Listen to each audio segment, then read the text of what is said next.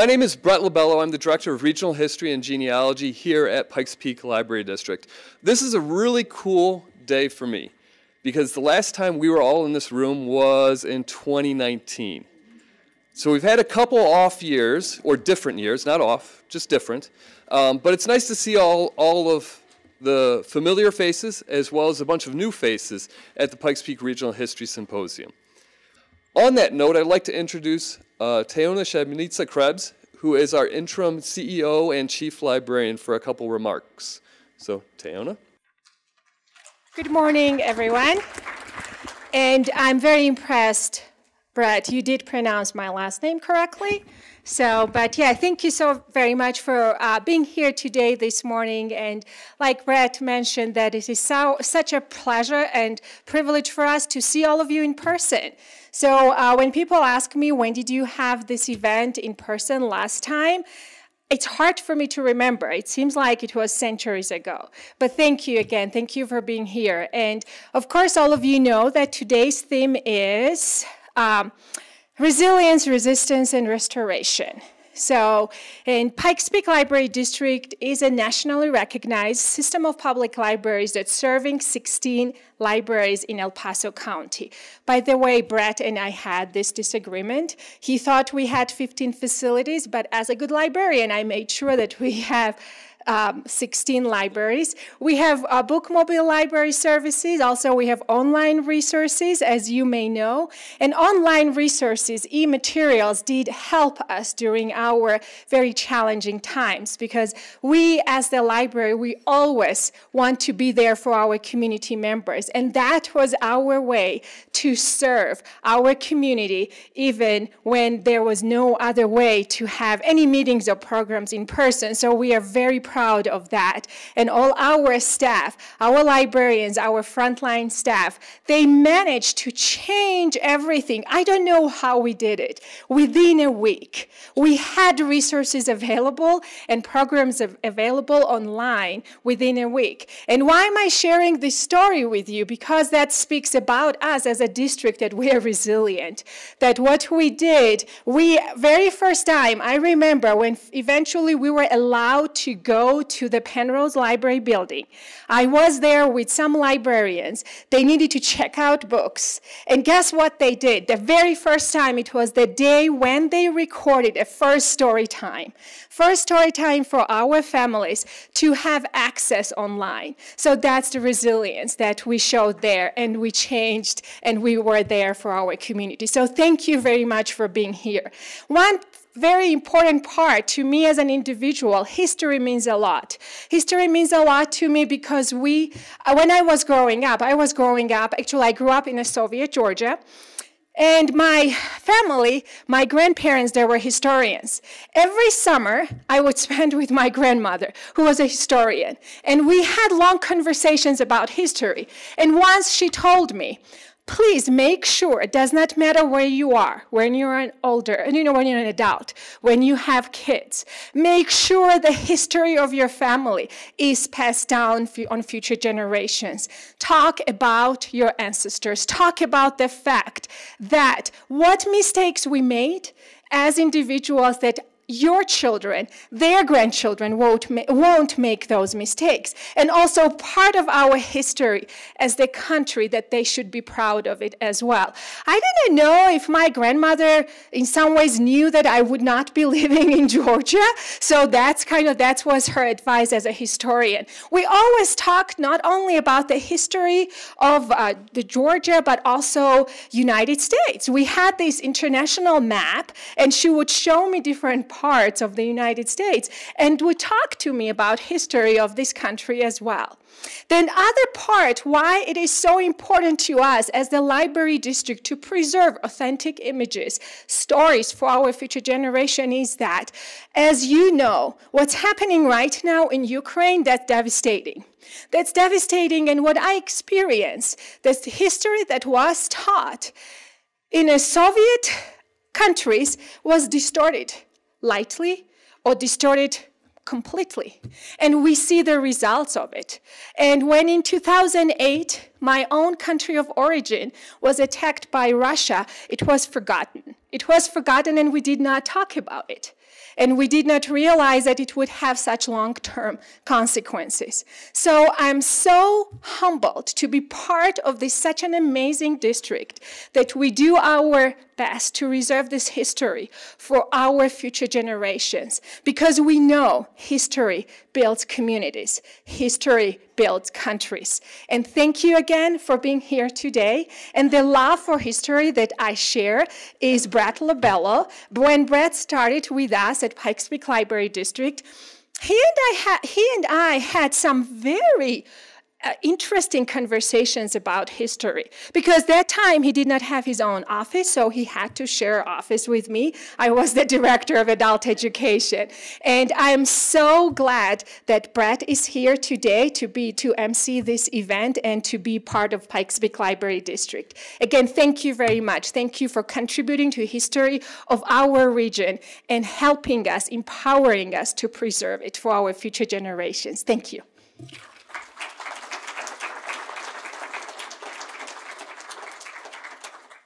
And before we introduce our speakers, uh, for an event like this, there's a ton of thank yous that always need to go out. Uh, first of all, I'd like to thank our sponsors uh, Colorado Humanities, Helen and James McCaffrey Fund for Regional History, uh, the Friends of the Pike Peak, Pikes Peak Library District, and the Pikes Peak Library District Foundation. Uh, we also have many partners in this endeavor. Uh, those partners include the McAllister House, uh, UCCS Department of History, Pikes Peak Community College, Pikes Peak Genealogical Society, the Western Museum of Mining and Industry, and finally the Colorado Springs Pioneers Museum. Um, and no thank you would be uh, complete without thanking the people and the staff that went uh, and participated and made this work. Uh, that's the East Library staff, uh, staff from communications, our district-wide communications team, and the entire regional history team. Um, we do have uh, a couple of them here today. Tim Morris, who was doing the check-ins, uh, Aaron Barnes, who will be helping and assisting during the coffee break, and Kara Ramsey, uh, who will be sort of emceeing on the other side over there for the tech side of things. Uh, the one person that I would like to make a thank you, and I know she's not here, is Chris Nickel. Chris Nickel retired Exactly. Chris Nickel retired last year, but she had been the driving force of the of the symposium for the first 15, 20 years. Uh, she has humbly and ably passed the baton on to Kara Ramsey, um, who is doing it right now. Um, so I would like to thank both both Chris and Kara for that. Um, and at this point, I know that you guys love thank yous and everything like that, but you're really here to listen to somebody that's not me. Um, so I'll introduce our first speaker of the evening or of the af- afternoon, evening, morning. I don't know. Yeah, right. Um, our first speaker today is Barry Binder. Barry is a lecturer at the Department of uh, History at the University of Colorado, Colorado Springs. His most recent research projects center on the transmission and evolution of ideas and identity through migration. These projects include a study of Scottish architects in Colorado Springs at the turn of the 20th century, an analysis of Chinese migrants in Colorado's press in the late 19th century and historical examination of Mexican migrant laborers through their oral histories. Barry is also an active contributor to public history, having presented his research locally, contributed to the Colorado Springs Pioneers Museum's COS at 150 exhibit, and served as a commissioner on the Historic Preservation Board of Colorado Springs. Barry is a past presenter at the Pikes Peak Regional History Symposium, and his presentation today is titled Heathen Chinese, China Jim, Dr. Chung Sing, and Chinese Question in the, in the Colorado's Press of 1869 through 1915. That's a mouthful. It is. I should have practiced, right? I like big titles. Thanks, Brett. Thank you, everybody. My name is Barry Binder. Um, I want to first thank you all for attending this morning, um, and also for the folks at PPLD um, for setting this event up. And it's uh, my great pleasure to present uh, my research, which is entitled Heathen Chinese, Dr. or China Jim, Dr. Chung Sing, and the, and the Chinese Question in Colorado's Press, 1869 to 1915. So as I get started here, I think it's important to set the stage about what this whole Chinese question is for those of you that aren't familiar. So the Chinese question is really a catch-all phrase for this debate that occurred between, say, 1850 and the early 1900s about the presence of Chinese migrants in the United States, most specifically in the western United States, and the presence of Chinese laborers here. Um, the first wave of Chinese migrant, migrants started coming to the U.S. basically with three main, three main occurrences. California Gold Rush, the passage of the Burlingame Seward Treaty, which, uh, which allowed the free migration of peoples between China and the United States, and the completion of the Transcontinental Railroad. All these things resulted in the increased presence of Chinese migrants in the United States, and especially in the American West. And what this Chinese question was, was really more than just a question about Chinese migrants. It really was a debate between the Democratic and Republican Party about the topics of labor, politics, class, and race. And so you had the Democratic Party, who at the time largely represented the, uh, the free labor or working class, who were very staunchly anti-Chinese migration, uh, debating with the Republican Party, who at the time largely um, represented the bourgeoisie class or the capital class, who were in favor of Chinese migration and, and the cheap labor that they provided to build the industry here. So this debate was played out in the American press. And I like to say that if we think the press is partisan today, it holds no candle to the partisan press during this period of time. They were staunchly, staunchly, um, unabashedly partisan in their reporting. So you had Republican newspapers and Democratic newspapers, and these were the vehicles by which the parties would um, communicate and reinforce the political and class-based sentiment of their platforms. So this Chinese question was very, very relevant during this period, and it played out in the American press, and that's the focus uh, of my study here. So during this period of time, I'm not going to go through all this, there was a lot of acts of anti-Chinese violence, as well as the passage of migration legislation against Chinese migrants in the United States, uh, following the passage of the Burlingame Seward Treaty. And this, uh, this resulted, and many of you have seen these, both national and local depiction of Chinese migrants where they really were demonized. These pictures of them uh, in very racist, orientalist, orientalist and, um, and stereotypical depictions of them could be seen throughout the press. So how did Colorado fit into the context of this overall picture? Colorado was very unique during this period of time. Um, being granted statehood in 1876, I like to refer to it as the easternmost of the western states during this period.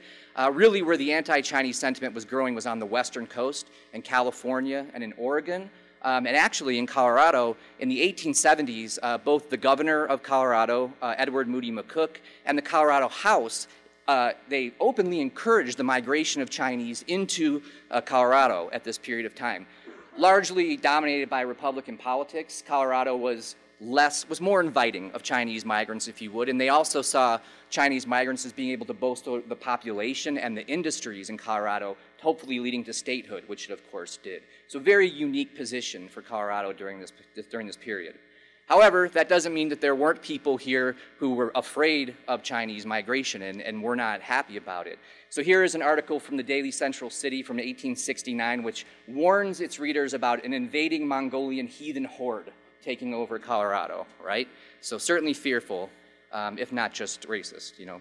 So we know, however, that uh, an invading heathen horde never really came to Colorado based on census records in 1870, out of the 40,000 people living in the Colorado Territory, there were seven Chinese migrants here. 30 years later, in 1900, of the 540,000 people living in Colorado, there were 566 Chinese migrants here. So certainly not an invading heathen horde, right? But this Chinese question still played out in the press, and you can see articles about Chinese migrants and the Chinese question in Colorado's press. Uh, because again, it represented something more than just the presence of Chinese migrants. It was about politics and class and race. So the newspapers had to communicate to their readers, to their constituents, how to view this issue of Chinese migration. So here's an example from Colorado's partisan press. And so this was no, no more represented strongly in Colorado than after the uh, October 1880 anti-Chinese riot in Denver, which resulted in the, in the, murder of at least one Chinese, the beatings of dozens, and the complete decimation of the Chinatown in Denver, which was never rebuilt. So here's how the press represented that, uh, that event. Uh, the Daily Chieftain from Pueblo, which is a Republican publication, stated, quote, the inflammatory speeches of Saturday night and the inflammatory whiskey drank Saturday night and all day Sunday worked the Democratic hoodlums into the proper frame of mind to be ready for anything, even riot and murder, right? Representation by the Republican press. Representation by the Democratic press, Georgetown Herald, states, quote, what is the use of having them here if we cannot have a little fun once in a while by killing a few of them without having to pay the fiddler? That is the representation of the partisan press in Colorado about Chinese migrants vastly different opinions, right? So here comes in, and I will segue to the stories of China Jim and Dr. Chung Sing uh, in, the, in the Pikes Peak region. I know many of you might take, uh, I could debate whether or not Pueblo, Colorado is a Pikes Peak region. Let's just be liberal with the definition of the Pikes Peak region here. So I'm primarily a migration historian, and one of the things I endeavor to do is to locate and provide individual migrant narratives whenever I do migration history. Um, Chinese migrants during this period, it's very hard to find individual narratives because they didn't leave much behind. So I was very, very fortunate, sorry, very fortunate to find these two individual uh, narratives, the narrative of China Jim and uh, Dr. Chung Sing. And what I like to do is contextualize the way that they were represented in the press in the Pikes Peak region with this bigger question, this bigger picture of the Chinese question. So this is a picture of China Jim. You can see very obviously that he had adopted Western wear, Western attire. His name was something akin to Liu Bo Fu, but he was known in uh, the press as China Jim. The census record here actually shows him named as Jim China. That's in, in the census. He was born in Canton, China in 1865. He immigrated to the United States in 1882. And sometime in the late 1800s, he ended up in Meeker, Colorado, which is in the northwest corner of Colorado. And there he served as a cook and at some point, he received a shipment of these, what are called fancy Asian goods, Japanese and Chinese goods, and he set up shop in the Meeker Hotel and started selling these, what were becoming very fashionable Asian goods, assumingly to wealthy white consumers in Meeker, Colorado. Two years later, he apparently was successful enough to come 300 miles to Colorado and set up the second China and Jim store, uh, it was said he came here to, to, drive a stagecoach. I would argue that he likely came here to sell his Asian goods to this growing bourgeoisie population in Colorado Springs during the period. Um, so from this time, for 25 years, the story of China Jim plays out in the columns of the Colorado Springs Gazette. What's most noted about him is his business success and his uh, status as a very prominent member of the Chinese migrant community in the United States. So we know his success with these two stores led to him opening a newspaper in San Francisco and opening several properties in San Francisco as well. And we know also that uh, very prominent members of the Chinese community would come here, benevolent societies, to, to confer with him on things like educational and relief campaigns. Um, they also, the Colorado Springs Gazette also reported greatly on his continued connection to China. So during this period, there was legislation passed that, that um, would not allow a Chinese migrant here to return to China and then come back. China Jim was one of the few migrants that could actually do this because he paid taxes and he owned property in the United States. So he would go back and forth between Colorado and China all the time, many, many trips. So we know he established a family there, and he later brought them back here with him to Colorado Springs. We know he established a bank and some stores in Canton, China, and he would provide donations to uh, organizations in China, uh, including the Canton Christian College. His most significant connection to China remained probably his relationship with Dr. Sun Yat-sen, who became the first uh, president of the Republic of China after the abdication of the last Chinese emperor. Um, China Jim and Dr. Sun Yat-sen were associates. And so this article from the February 1912 Colorado Springs Gazette talks about this, and it's entitled, Hooray for China Jim. And the article states, Jim has lived in our midst for 20 years or more, and everybody knows and enjoys him, but few of us ever suspected that he was a statesman and an empire builder, or rather a republic builder and an empire destroyer. But he is just the same. Jim is the right bower of Dr. Sun Yat-sen, the new president of China, and next Sunday he is going to leave this town for his native land to give 400, 400 million fellow celestials the benefit of his knowledge on how to run a republic. And he did, in fact, go to China. He stayed there for a year and a half, and he consulted with Dr. Sun Yat-sen. So pretty amazing accomplishment for an assumingly penniless teenager who came to the United States about 20 years earlier, right? Uh, the papers also report on his family life. Probably the most notable was the birth of his son, uh, Charles Lee, Leo James Bafunda, in uh, 1905, and he was noted as the first Chinese child born in the shadows of Pikes Peak. And this was published all throughout Colorado. An interesting thing, many of these publications said that the little boy was direct lineal descendant of Confucius himself. Pretty amazing stuff, huh? Uh, the, the, the, boys were also Christianed in the Episcopal Church here, so China Jim had converted to Christianity as well at this time. Uh, China Jim died here in Colorado Springs in 1915, and at the time his estate was valued at about $10,000. In today's dollars and cents, that's about a quarter of a million dollars. So a pretty sizable estate, and that doesn't include any of the properties or businesses he had in San Francisco or China. Um, so his body was prepared and be sent back to China to be interned there, to be buried there. The steamship that he, his body was on capsized off of Hong Kong. His body was never recovered and was never returned to his family. So that's the story of China Jim. Let me contrast that uh, with Dr. Chung Sing as told in the Republican paper, The Pueblo Daily Chieftain. Much shorter reporting time, 1885 to 1886. I believe this is the first time I've presented this information about this individual. I've talked to people in Pueblo, they have no idea about this story. So I'm, I'm very, very excited to, to tell this story. Uh, this is the only depiction I can find of Dr. Chung Sing. Obviously looks very different than China Jim. Traditional Chinese clothing, traditional Chinese hair, um, his, his origins are a bit more murky as well. The census shows that he was born in China in 1849, but we don't know when he came here. And the census records show that he was a laundryman. But we really know that Dr. Chung Sing was a practitioner of traditional Chinese medicine. He was what would be known as a Dai Fu, or a, a, Chinese physician. So studies that have been done about Chinese physicians in the United States during this period are, are very limited. But what they all say is that these physicians were underground, and they largely treated just the small migrant communities which, were, which they lived within. This was totally different in Pueblo because we know through the press that Dr. Chung Sing served hundreds and hundreds of white patients who had come from throughout the region to seek his miraculous cures.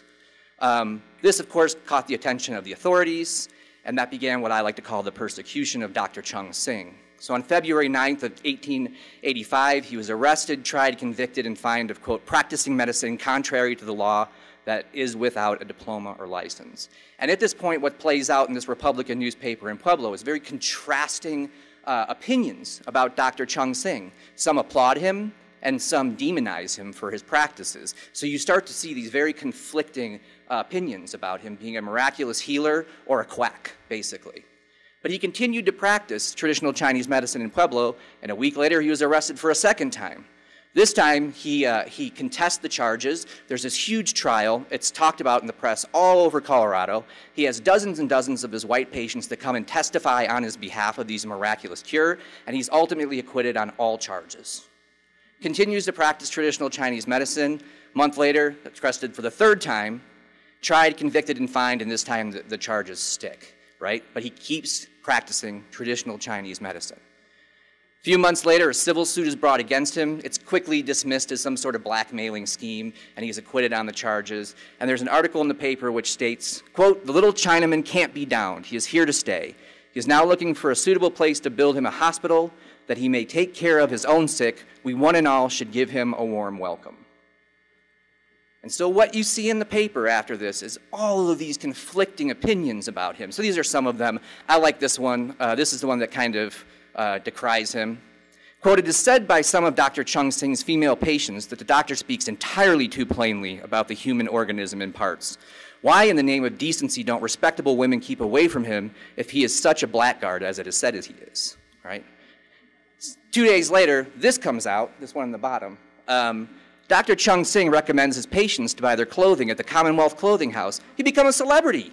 Merchants were using his name to advertise their goods. So you get these very conflicting opinions about him in the press. They take interest in him, and the press starts reporting on his personal life as well. His marriage, his trips to Colorado Springs, these lavish fireworks displays he would put on during the, the Chinese New Year, things like this. Ultimately, in 1886, Dr. Chung Sing and his wife relocate to Kansas City. There's no definitive reason for it. I would, I would argue that's probably because he knew he was just going to keep being persecuted in, in Pueblo by the law. Um, but he moved to Kansas City, reestablished his practice there, and within two years purchased a property there for his practice that, at value to $18,000. In today's dollars and cents, that's more than a half a million dollars. So here's a guy who obviously was very, very successful and attained a great amount of wealth, uh, not only at, with, um, with white patients, but continuing to practice traditional Chinese medicine uh, in Colorado and in Kansas City. So what I like to do here in conclusion is to contextualize these two individual narratives, very different narratives, into the larger scheme of this idea, this national idea of the Chinese question, and how the press represented Chinese migrants and how they were able to reinforce or communicate their political and class-based sentiment to their readers. So at China Jim, uh, what we see is an individual Chinese migrant who was able to achieve extreme success through assimilation, right? He took on Western wear. He was, Christ, he was converted. His children were Christianed in the church. He had a pretty wife. He lived what, they, what the press called a typical American life. Um, and so he, the, the, press was able to present him as the ideal Chinese migrant, someone that shouldn't be feared, someone who, if they adopted Western wear and adopted Western ways of thinking, they could be here right in our midst. There, there was nothing wrong with them being here. And what they were also able to do was to contradict this long held democratic assertion that Chinese were uh, either unwilling or unable to assimilate, right? So the press presented this rags to riches tale of China Jim, which really reads like a Hollywood movie script, right? So that's the way they were able to present him. You'll never find anything bad said about China Jim, or at least I have not found anything bad. Conversely, you have Dr. Chung Sing, and this is a Chinese migrant who lived in an overwhelmingly white community who found success without assimilation. In fact, he stood up to the authorities and continued to press and press his desire to practice traditional Chinese medicine. Well, the press was unable to define this, right? We see these contradicting articles. Some applaud him and some demonize him because they just didn't know what to make of this guy. Here he was continuing to look traditionally Chinese in his appearance and to practice traditional Chinese medicine, which was a linchpin of the culture. Um, so this really, which I think is very important, uh, in, a, in, the macro sense, it, it, contradicts this continuing notion that Chinese migrants at this period were simply voiceless victims. That's the way Chinese migrants during this period are portrayed. In the historiography today, they continue to be portrayed by, like this.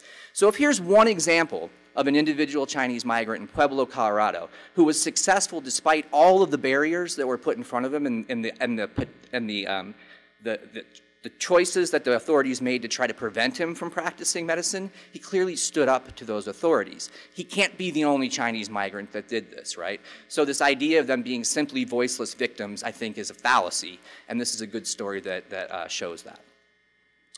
So that is the end of my discussion. I'll leave this quote up here for you to uh, read. I think it's, it's relevant. Uh, this is by Mary Roberts Coolidge from her work Chinese Immigration in 1909. This is, of course, after Chinese migrants have been prevented from coming here, and it speaks to the way the opinion of Chinese migrants started to change during this period, and certainly did to the middle of the 20th century. With that, I thank you all, and I look forward to any questions you might have uh, after everybody presents.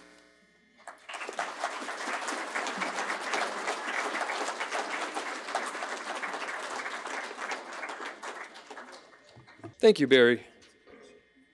Okay. To keep this train running, I will introduce our next speaker. Julia Haverluk is a French teacher and geologist with an interest in local history. Julie has worked for 13 years as an educator and translator at Academy International Elementary School, the French Immersion School in D20. Julie's prior work includes serving as a geologist and tour guide at the Western Museum of Mining and Industry for almost 10 years. She's been leading field trips, presenting rock talks, and acting as the local mountain man for elementary students for many years. Julie has a BA in geology from Williams College and a MS in geology from University of Arizona in Tucson, Arizona.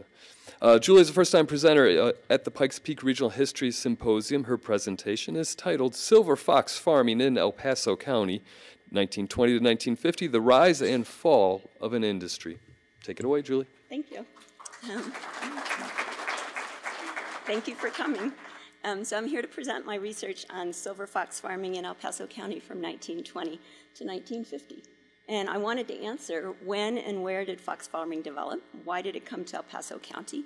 And what happened to make it disappear so completely that we only have a name of Fox Run Regional Park left as a trace? Um, and what is fox farming? So we're all on the same page. Fox farming is the raising and selective breeding of foxes in captivity to be killed and made into fashion garments. Um, and where did it de develop? Um, it developed in Canada, where mutant silver and black foxes were occasionally brought into Hudson Bay throughout the years, and the pelts would bring from 1,000 to $1,800 a pelt at a time when beaver pelts, which was the currency in the fur trade, um, were bringing $2 in trade goods and about $5 per pound um, at the auction market. Um, so this is a picture of a, whoopsie, of a red fox, um, and that's the most common variety in North America. Um, and these underneath is the um, mutant. This is a dark silver fox, a half silver fox, um, which would be brought in occasionally. They're a, national, a natural mutant.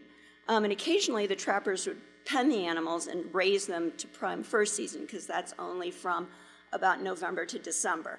Um, and they would try to get them to reproduce in captivity, but it proved really difficult. So in 1887, Charles Dalton, who's now known as the father of the silver fox industry, started experimenting with selective breeding of mutant black foxes on Prince Edward Island, which is in the Gulf of St. Lawrence um, in eastern Canada. Um, in 1896, he joined forces with an, Robert Oulton, who was also breeding the foxes. He was doing more the open pen breeding, um, and so they joined forces and were breeding Alaskan silver foxes um, again on Prince Edward Island. And by 1900, they had finally um, succeeded in developing a breeding line that could produce reliably high quality silver foxes. Um, and so, what were they breeding for? They were breeding for color, for size, for deeper, more luxurious fur, better leather, calmer animals, and eventually, over the years, for polygamy. Um, and this is what they were breeding for. They wanted, this is what they arrived at. This is a beautiful specimen of a full silver. Um, and it's the guard hairs that, that give them that silver sheen, and that's what was so um, sought after in the fur trade. And so the price of silver fox pelts prior to 1900, um, like I said, it was about 1,000 to $1,800 a pelt that they could get for these occasional um, wild black and silver mutant foxes that would come in. Um, in 1900, Dalton and Oulton were successful, and they sold a farm-raised silver black fox pelt for $1,800 on, that, um, on the London market. In 1910, they sold um, 50 pelts for $35,000. That's about $700 a pelt at a time when the farming of an average salary um, at that time was $450. So you can see that this is incredible wealth. Um, um, so while the silver, but this is the, the catch, um, they were trying to keep a monopoly on this. So there were about six farmers and ranchers that were breeding these silver fox pelts on Prince Edward Island, and they had done, made a verbal compact that they wouldn't sell any breeding pairs. But in 1911, um, one of the cousins sold breeding, two breeding pairs outside of that compact, and so the monopoly was broken. And then everybody could purchase breeding pairs of foxes. And um, so what happened is that uh, whereas a pelt could bring 500 to 2,000 dollars a pelt, um, a live breeding pair of foxes could bring 10,000 to 35,000 dollars. So economically driven, um, it, it, took off, and so it was mostly um, that silver fox industry was mostly based in the upper Midwest and New York and in Canada. But then um, World War I ended. Spanish flu epidemic ended. There was a return to purchasing luxury goods. Farm fashions had evolved, or did evolve rapidly with the Roaring Twenties, and they had perfected the technique for raising and reproducing foxes in captivity. And they were widely selling those breeding pairs, creating a much bigger supply. Um, and then all the farmers wanted in on this bonanza um, because with a single quality fur pelt, you could pay um, for all of your costs. I mean, it was incredible um, return on your investment. Um, so the first fox farm arrives in El Paso County right away. In 1921, um, W.H. Moyle, a fox farmer from Wisconsin, so he was an established fox farmer, comes looking for another place to raise foxes and chooses Fountain, Colorado, and brings two breeding pairs um, worth 6,000 to $8,000. Um, and that's pretty much when the fox farming um, arrived in Colorado in general. There are a few farms. One farm was established um, in um, on Lookout Mountain in Colorado in uh, Denver, um, but otherwise we were among the first. Um, and why do they come to El Paso County? Because of the cold, dry climate and tall shade trees. That, the tall shade trees are important because the shade is good for the fur quality. Um, sandy, well-drained soils, which is improving, which is keeping down diseases, um, good transportation, rail transportation, both to bring feed and supplies in, but also to export those pelts to the eastern and foreign markets. A good, cheap agricultural labor pool, agriculturally trained labor pool that was um, available for seasonal work because that was, there was the high season for the fox industry is October to December, whereas in the agri- there's sort of a lull for the agricultural industry, and they can hire those agricultural workers who are used to um, working with animals because they're having to haul in. Each fox eats about a pound of meat a day, and they have to bring in um, horses and cows, and um, they were fed rabbits often too. Um, but anyway, a lot of um, horses to, to bring in slaughter to feed these animals. Um, and oh, did I change this? Um, they also have, there's a wealthy population in Colorado Springs, also a strong tourist industry, um, and it's much more profitable than ranching, which can be a hard here with um, the weather and the um, grasshoppers and whatever plagues they were encountering. Um, but it could also supplement, so it didn't have to replace um, ranching, it could supplement. And that's important because later on there's a difference between what happens, sort of the fate of um, some of these ranchers. So here's a map of the fox farms that I've identified in El Paso County. And actually, um, the one in Fountain is not shown on here um, just because of the scale. Um, and the big significant thing is this Black Forest Fur Farm, which in the 30s and 40s was the biggest fur, um, silver fox farm in Colorado, um, and in all of Colorado. And in the 40s, there's an, um, I have an article that's it was the biggest one west of the Mississippi. So we are significant in being the biggest, um, or having the biggest fox farm. Um, this, just to give you a sense of, of, place, this is Palmer Lake, and this is County Line Road up here.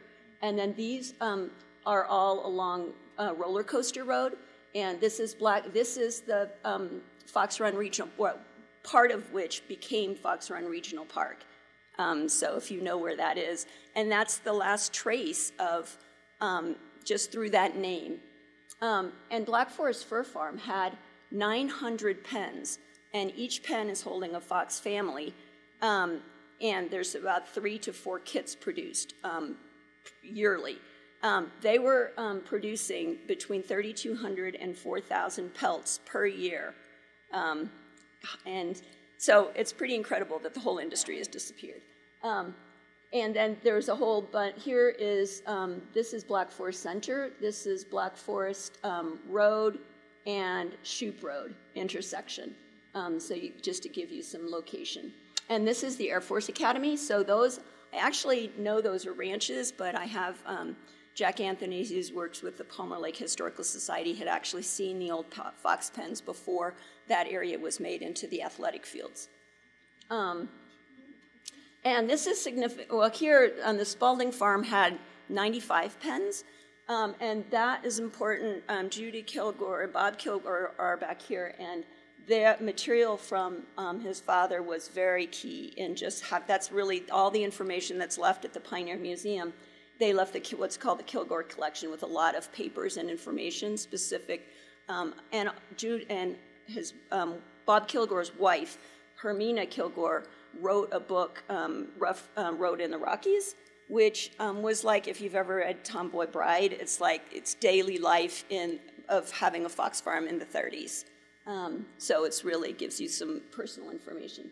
and then here is Happy Landing Ranch, which that's where the, I've got pelts back here that you'll be able to feel and see examples of these fox pelts. I ask that you touch them with the back of your hand if you um, handle them. But um, they were from Happy Landing Ranch. Um, and those, and he, he was, um, he bought his ranch actually almost when the um, farming, fox farming collapsed, but he was able to pay off the ranch in one year from the profits of, of raising foxes. This is in 1945, which is significant.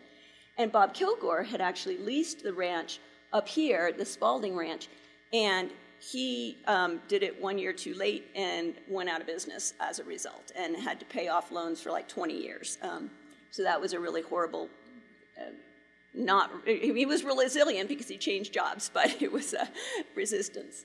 Um, okay.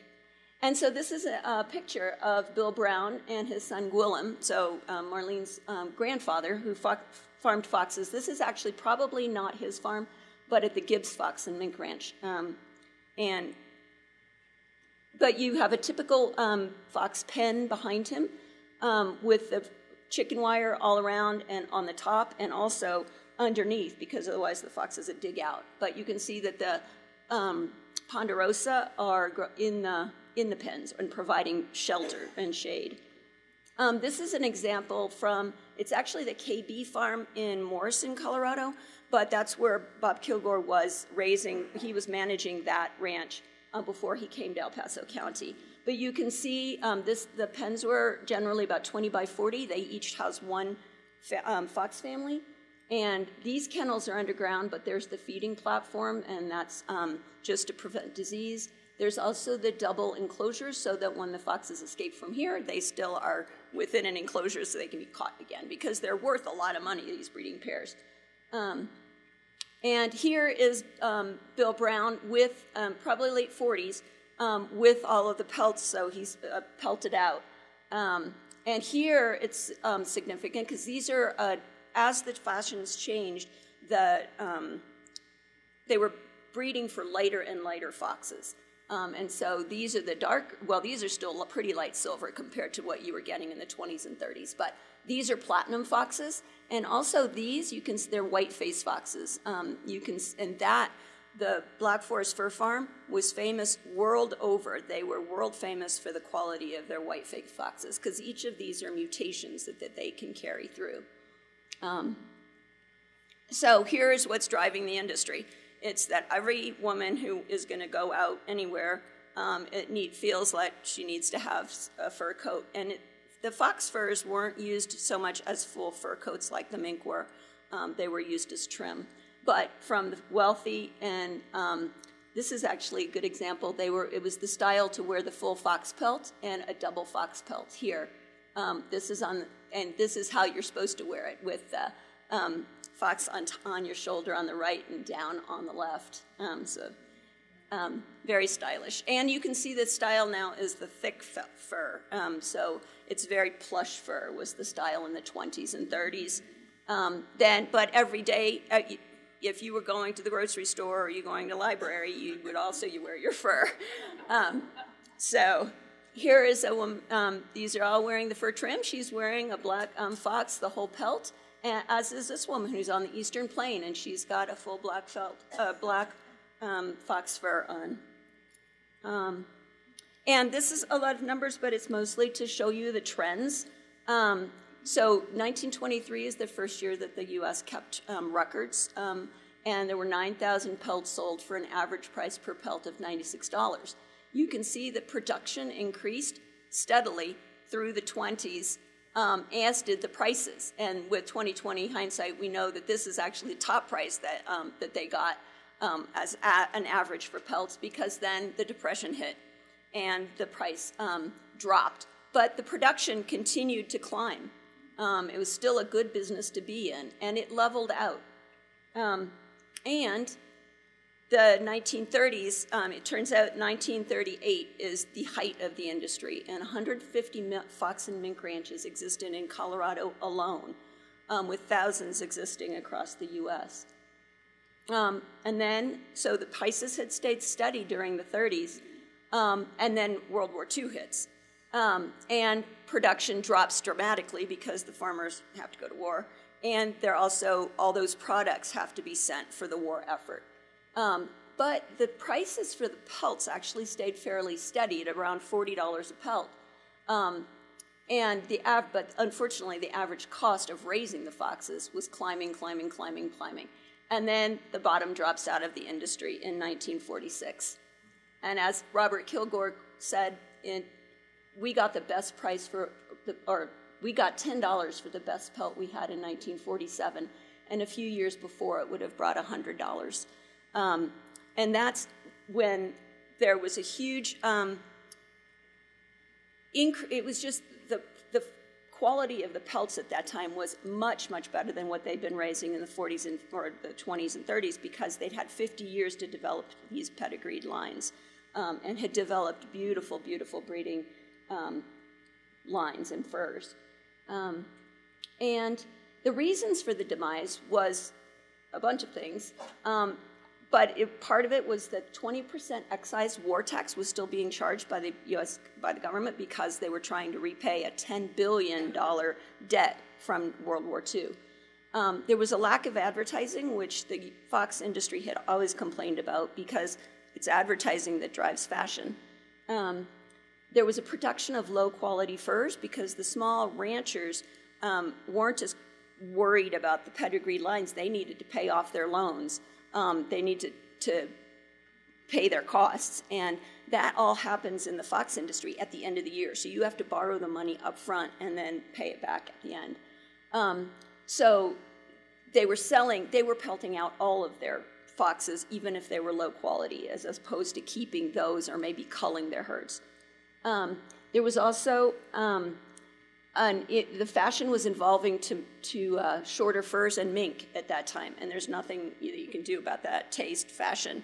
Um, and they had increased the, they had perfected the raising of mink because mink are harder to raise. Foxes were the first fur-bearing animals that were um, that were domesticated or were able to be raised. Mink um, were a lot more persnickety and would eat their young if there was like the blow the the train of a, a train whistle or something. So um, it was much harder. So until they were able to breed the calmer mink, um, they weren't able to raise them so easily. But also, there was no foreign market for the furs, and the, they were the, after World War II. The foreign countries were dumping all of their furs, which they'd stockpiled during World War II. Um, um, and the Russians um, were dumping theirs, and they'd only gotten breeding pairs in 1936. So um, all of a sudden they were, and they could control the price because they were had state farms, so they could undersell our farmers. Um, so prior to World War II, there were 3,000 fox producers in the U.S. By 1950, there's only 450. Black Forest Fur Farm sold out in 1949. Hanson Farm had um, had uh, fire in 1949. They sold out. Spalding, um, Bill, um, Bob Kilgore sold his farm in 1949 as well. They all went bankrupt. Um, so the fate of the fox farm, a few fox farms like Happy Landing was able to, um, well, he, because he didn't focus, he was not raising foxes as his primary source of income. He also had, a, a, he was ranching, whereas Bob Kilgore was, had 95 pens. He was only um, doing the, the fox farming. In 1980, Colorado banned the raising or even owning of foxes. So there goes the fox industry. Here, 1980 happens to be the year um, that People for the Ethical Treatment of Animals um, was founded. And FERS came back a little bit um, in the 1980s, but with the growing activism and influence of PETA, it became just in politically incorrect to wear furs. Um, and here is the last remaining fox kennel in El Paso County that I know of. And this is Marlene um, standing at Happy Landing Farm. And this is the state of the fox pens now, big piles of chicken wire. And that's more than the exists anywhere else the, because the chicken wire's been hauled away. So there's actually no traces of fox farming in, in El Paso County or occasionally I, you know, I will hear uh, and see people will send me pictures of some that exist in um, but it's mostly like this, and here's what the fox kennels look like. So this is the last one that we know of. Um, and that's it. Thank you. And I would love to answer questions.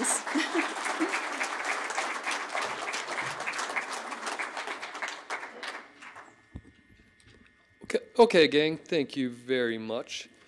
Our third and final speaker in this portion of the symposium is Milly Mollica and she's a student at University of Colorado, Colorado Springs. Milly is a double major in political science and history, and upon graduating, plans on working for a grassroots organization and starting a political career. Milly was born and raised in Colorado Springs. Milly attended Stratton Elementary School, Eagle View Middle School, which will be important in a little bit, and Air Academy High School. While in college, she found a passion for research and Colorado history. Milly is a first time presenter at the Pikes Peak Regional History Symposium, and her presentation is titled Dominic Mollica, A Remarkable Man and His Legacy.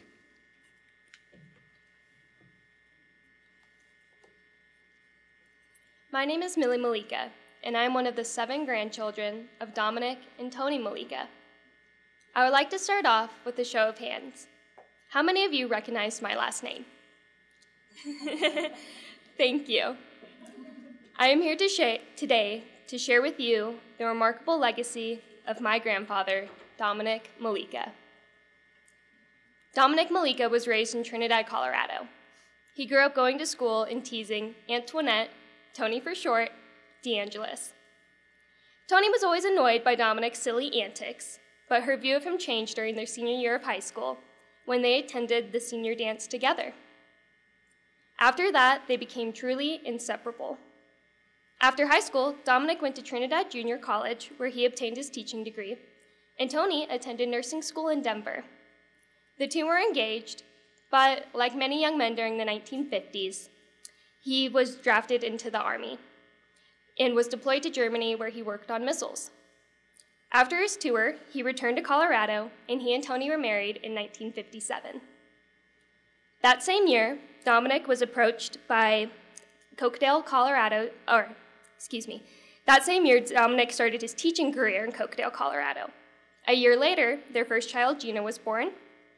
And around that same time, the Starkville School District approached Dominic and offered him the job, or should I say jobs, of principal, fifth through eighth grade teacher, janitor, and coach at their small one room schoolhouse. Dominic accepted the job because it was a better commute from Trinidad, but I also think that the challenge excited him. He was so excited to make a difference in his students' lives that he and Tony spent that whole summer sanding the desks so that the students would have a smooth surface to write on. It is in this one room schoolhouse that his legacy and his ability to reach children begin to take root. Dominic and Tony had really enjoyed their lives in Trinidad and had planned to raise their children there. But in 1961, the youngest at the time, Janet, was extremely sick, and Dominic and Tony found themselves driving to Colorado Springs on a weekly basis for doctor's visits. The young parents realized they had a choice to make stay in Trinidad and continue to commute to Colorado Springs, or uproot their lives and move to the city permanently. When Dominic was offered the job of teaching fifth grade history at Douglass Valley Elementary, it seemed like a sign. So he accepted the job, packed up their lives in Trinidad, and set out for Colorado Springs. Dominic thrived at Douglass Valley, even while he raised five children at home and worked nights at King Soopers. Some might say that he spread himself thin, but this resilient and hardworking spirit came to define every aspect of his life. Not only could Dominic's principal at Douglas Elementary see his potential, but the district could too. In 1965, a principal position opened at Air Academy Junior High, and Dominic was immediately put on the shortlist. This new opportunity and its responsibilities is what Dominic had worked for and Tony always supported. And so, my grandfather, who began his teaching career at a one room schoolhouse, was now the principal of a junior high.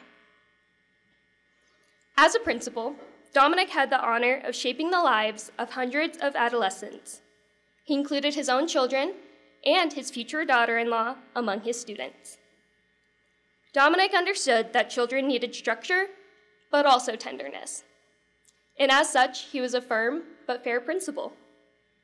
One of the many lives that Dominic impacted during his time as a principal was Ivor Davis. And in an interview with me, he remembers a trip he took to Mr. Mollica's office after an altercation with another student. There I was, just a young punk ready to take a verbal assault straight on. To my surprise, Mr. Mollica afforded me a level of respect that I never would have expected from someone in his position.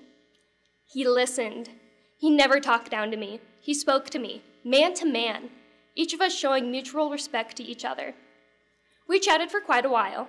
From this, I gained some valuable life wisdom, some of which I continue to employ to this day. I learned that if you give respect, you are more likely to receive respect. It has helped me to obtain and succeed in leadership roles. I am better prepared to mentor people. Ivor is one of the many students whom Grandpa positively impacted during his time as principal. He understood that children needed consequences for their actions, but they also needed to feel respected. The lessons and, Dominic, and values that Dominic instilled in his students have stuck with them long into adulthood and have been passed on to their children. Many of his students would become respected members of the community. I can say this confidently because on a whim one day, while I was doing my research, I posted on the Air Academy Alumni High School page on Facebook and asked if anyone who knew my grandfather could share a valuable life lesson with me. In a matter of minutes, I had over 300 positive responses. Grandpa's impact on students is only one of the numerous contributions. As the years went by and Colorado Springs began to expand in the mid 1980s, Academy District 20 decided that it was time to add a middle school. Now, adding a middle school would be no easy task, as it was a different concept from a junior high. The planning, defining, and execution would require someone creative, passionate, and resilient to take on the task. Again, Dominic Mollica's name was immediately at the top. He was ecstatic at the idea of creating a middle school, so when he was offered the job of planning principal, he became involved in every aspect of creating the school. From sitting in with architects, to picking the colors, to naming the school Eagle View, and most importantly, defining what a middle school would mean in District 20. Dominic had learned from both his time at Air Academy Junior High and watching his own children go to school that a middle school should be a place where students and their parents felt at home. He wanted his teachers to not only be passionate about the subject area, but also about their students. As such, he created teaching teams, which meant that students would have the same four teachers for their core subjects every day, and that teams could have some flexibility in their scheduled activities. He also constructed the school so that each grade level had its own wing, after defining and designing the school, it came time to hire teachers. Dominic had a knack for hiring extraordinary teachers who were passionate about the children, a legacy that continues there today. Once the school had opened its doors in 1986, Dominic asked Ross McGaskill to be his vice principal. The two continued to work side by side for seven years at Eagle View. In an interview with Ross, he describes what it was like working closely with Dominic. Dominic Mollica was one of the most important people in my life.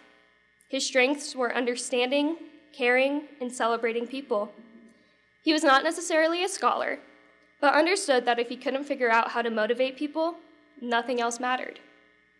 He had something intuitive that he could see in people when no one else could. He was able to look at someone and know that they were a good person. He also knew how critical it was to know that someone believed in you. Finally, when someone asked him to do something, he always tended to say yes.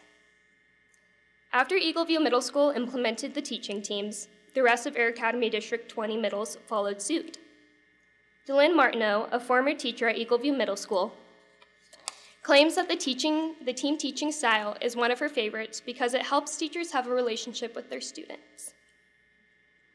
Once it was obvious that McGaskill, the teachers, and the administrators could not only stand on their own, but be successful without him, he decided that it was time to retire.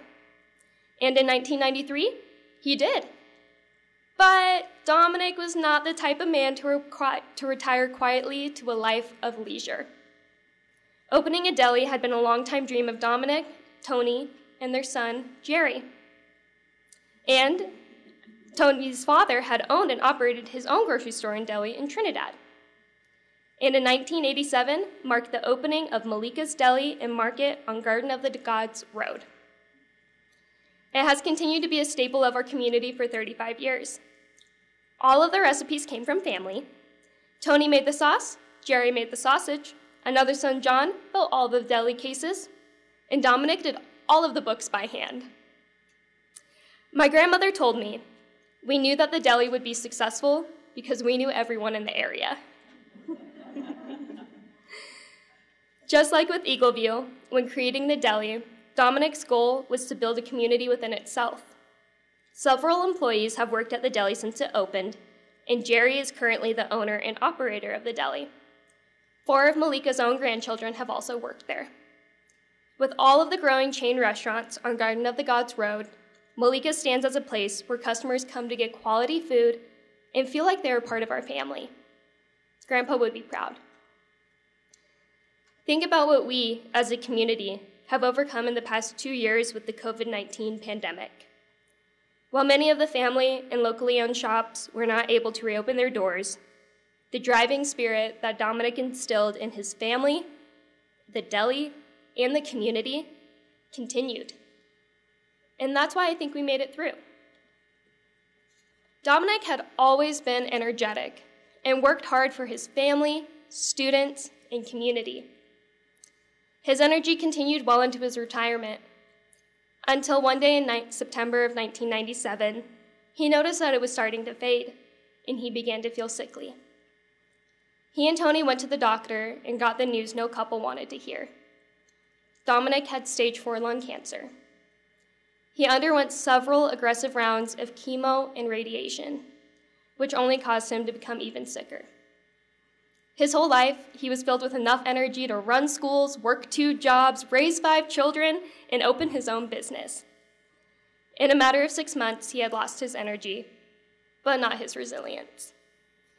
The family made the most of the time they had left with my grandpa, and he trooped along with them on family trips to Coachella, and on the holidays, he soaked in every moment with his children and grandchildren. Dominic Mollica was moved into hospice care at the end of January 1998 and passed away shortly after on February 2nd. While the family grieved the loss of a man who raised them, the community mourned the remarkable man who shaped the lives of hundreds of children and families. In his book, A Musings of a Middle School Man, Ross McGaskill included the message that he said over the intercom the day Dominic passed. McGaskill writes, some teachers in your classrooms may never have met Mr. Mollica because they are new to our school in the past five years. But some of your teachers called him their boss. He hired many of us, he believed in all of us, and we called him our friend. I am only telling you this because good and great people do things that go beyond only those who knew him. Mr. Mollica built Eagleview. He designed the classrooms, the gym, and the library media center. He bought the furniture and created the dream, which has become this place we call our school. I believe this quote captures the depth of Dominic's legacy and the man that my grandfather was. I unfortunately did not get the chance to know my grandfather, but I was able to attend Eagleview Middle School, a place that has shaped who I am today. I speak from experience when I say that even 30 years later, the design, scheduling, and tradition of exceptional teachers continues. I still carry the life lessons that I learned at Eagleview and have been able to appreciate them even more as I attain higher education. For those of you here who did not know my grandfather, there is a chance that his legacy has touched you. Maybe you know someone who had Mr. Mollica as a principal and carries one of his priceless life lessons with them. Maybe your child has attended middle school in District 20 and has thrived at a crucial time in their life. Or maybe on a rough day, you stopped into Mollica's Deli and treated yourself to a cannoli that put a smile on your face. In his eulogy for my grandfather, McGaskill said, We remember a man with whom we all felt safe, and if we can no longer feel those arms of safety, just as surely that feeling is there, in the form of lessons taught, values molded, and the wisdom of his words. My grandfather's capacity for making people feel known, loved, and safe is the most crucial element of his legacy in Colorado Springs. Now, I would like to share with you all some of the awards that were given to Dominic throughout his life. My grandpa had always cared more about the quality of his students' learning than the accolades he received. But I, as his granddaughter, am immensely proud to share these awards with you. But for time's sake, I will list the three that meant the most to him and our family. Outstanding Administrator of the Year award was given to Dominic in 1987 because he established the first library with computer access for his students in District 20. Ross McGaskill states that Dominic knew that a school could only be great if it had a great library. Dominic understood the importance of providing his students with the resources necessary to succeed, Remember, in 1987, personal computers were new and access was minimal. So providing students with everyday access to computers was an incredible feat. The Academy District 20 Hall of Excellence Award was established in 2017 to, according to Academy District 20, honor those whose extraordinary contributions uphold the district's mission and tradition of excellence. Dominic Mollica was the inaugural member inducted into the Hall of Excellence 19 years after his death. The recognition that meant the most to Dominic Mollica himself was the renaming of the Library Media Center at Eagleview Middle School to the Dominic Mollica Library Media Center. Ross McGaskill was responsible for changing the name in 1994 after my grandpa retired. This acknowledgement meant the most to Dominic because it solidified his legacy to the school. His picture hangs on the wall in the library so that even students and teachers who never knew him could see the many ways that he contributed to the life of the school. I will leave you all with this final thought. Dominic Mollica's strength, energy, work ethic, and love continue to affect the Colorado Springs community today. He made Colorado Springs better, but in return, it made him a better man. Thank you.